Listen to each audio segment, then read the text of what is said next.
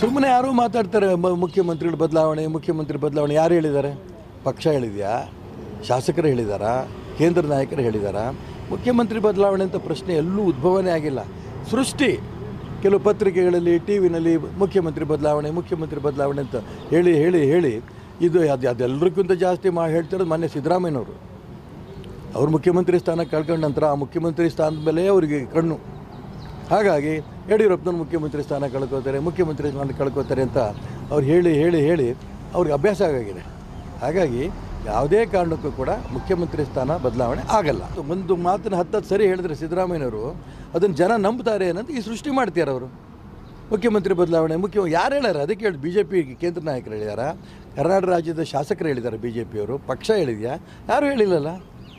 ಕೆಲಸ ಚೆನ್ನಾಗಿ ನಡೀತದೆ ಅಭಿವೃದ್ಧಿ ಕೆಲಸಗಳು ಆಗ್ತಾಯಿದೆ ರಾಜ್ಯದಲ್ಲಿ. ಚೆನ್ನಾಗಿ ಆಗ್ತಾ ಇದೆ ಅನ್ನೋ ಕಾರಣಕ್ಕೇ ಲೋಕಸಭೆ ನಮ್ಗೆ ಇಪ್ಪತ್ತೈದು ಸೀಟ್ ಗೆಲ್ಲಿಸಿದ್ರು. ಮೊನ್ನೆ ನಡೆದಂಥ ಉಪಚುನಾವಣೆಯಲ್ಲೂ ಕೂಡ ನಾವು ಹದಿನೇಳರ ಹದಿನಾಲ್ಕು ಸ್ಥಾನ ಗೆದ್ದಿದ್ದೀವಿ. ಹಾಗಾಗಿ ಗ್ರಾಮ ಪಂಚಾಯತಿ ಚುನಾವಣೆ ನಿರೀಕ್ಷೆ ಮೀರಿ ಗೆದ್ದಿದ್ದೀವಿ. ಜನ ನಮ್ಮ ಬೆಂಬಲ ಕೊಟ್ಟೇ ಕೊಡ್ತಿದ್ದಾರೆ. ಹಾಗಾಗಿ ಬಿ ಬಗ್ಗೆ, ಮುಖ್ಯಮಂತ್ರಿಗಳ ಬಗ್ಗೆ